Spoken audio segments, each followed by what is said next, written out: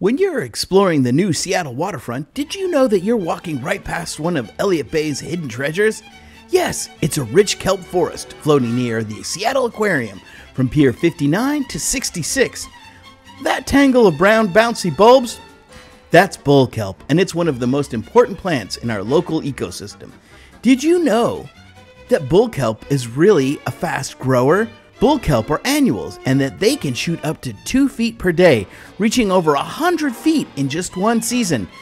Bull kelp isn't a plant, it's a brown macroalgae, and it still builds forests that look a lot like trees, anchored by holdfasts and topped with gas filled bulbs that keep the fronds floating near the surface. Kelp is an ocean superhero as it grows, kelp removes carbon from seawater, helping buffer ocean acidification.